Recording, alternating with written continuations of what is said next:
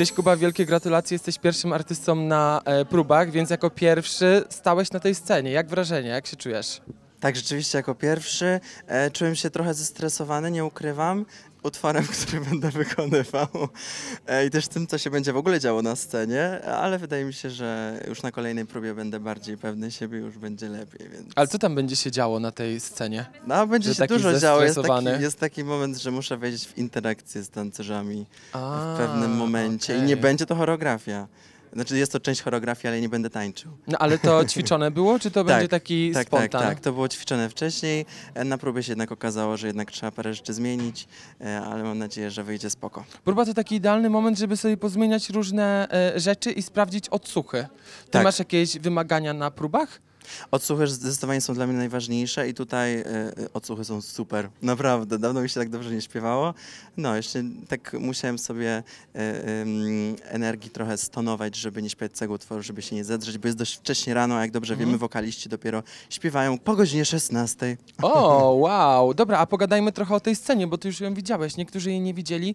Jakie wrażenie na tobie zrobiła? Ogromna scena, naprawdę. Jedna chyba z największych, na których e, będę miał okazję występować, albo na których, na których występowałem, więc w ogóle się mega, mega cieszę. E, bardzo się cieszę na ten Sylwester e, z Polsatem e, i już się nie mogę doczekać. E, będzie naprawdę cudowna zabawa. Sylwester to idealny moment, żeby podsumować sobie ten rok. W tym roku dość dużo u ciebie się działo. Co uważasz za swoje największe osiągnięcie tego roku, który już zaraz minie? Niestety. Wydaje mi się, że ten rok był zdecydowanie najlepszym rokiem w moim życiu e, zawodowym.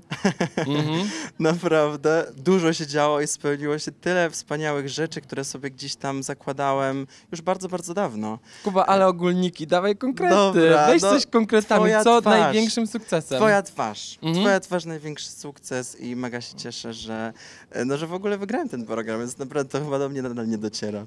Rok składa się z sukcesów i z porażek. Co się nie udało w tym roku i będzie trzeba poprawić w następnym. I O zrobić kurczę. kolejne podejście. Co się nie udało w tym roku? A wiesz, że mało rzeczy? Że No. bardzo rzeczy się udało w tym roku. Ciężko mi teraz powiedzieć, ale e, musiałbym spojrzeć na tą swoją listę.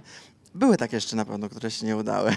No to teraz, Kuba, takie e, Dobra. ciekawe, prowokacyjne e, pytanie, wiesz, żeby ludzi zachęcić do oglądania. Dużo było cię w mediach. Czy ten rok był najlepszym rokiem finansowym?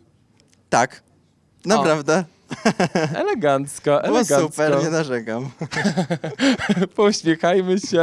E, no to fajnie. A myślisz, że kolejny będzie lepszy? Czy to już Musi ten poziom, lepszy. który ci odpowiada? Musi, nie no, musi być lepszy, nie ma opcji. Ja się chcę dalej piąć w górę, chcę wydawać kolejne piosenki. Ostatnio wydałem singiel ze szwedzkim artystą, Mhm. Running with Lightning, więc jeżeli jeszcze nie słyszeliście, to zapraszam do odsłuchania. E, jest to super numer i teraz właśnie chcę iść w tym kierunku muzycznym, e, więc jeżeli usłyszycie singiel, to, e, to będziecie wiedzieli, o co mi dokładnie chodzi. Em, I nie no, mega się cieszę. Wydaje mi się, że ten przyszły rok będzie naprawdę pełen wyzwań, jest mnóstwo nowych planów, nowych rzeczy, ale ja nie lubię mówić o planach tak Mhm. publicznie. Wolę je sobie tak trzymać w serduszku, bo wtedy się najwięcej z nich spełnia. Niektórzy artyści inwestują w siebie, inni inwestują w samochody, a inni w bitcoiny. Jak to wygląda u ciebie? W co ja inwestuję? Mhm. Ojeju.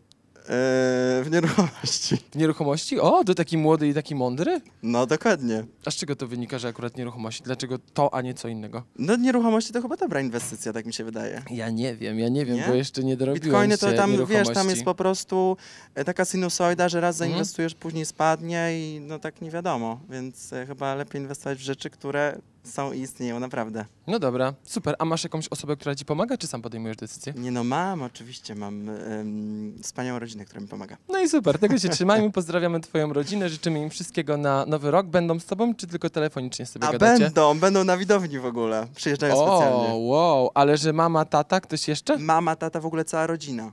Kurde, to pół stadionu śląskiego Tak tutaj będzie, za, zapełnicie. No dobra, no to zobaczę, to im osobiście złożę te życzenia. Dzięki bardzo, Kuba, trzymaj się. Dziękuję. No i dużo nieruchomości w nowym roku. Dzięki. Tego ci życzę. Może byś wynajął coś.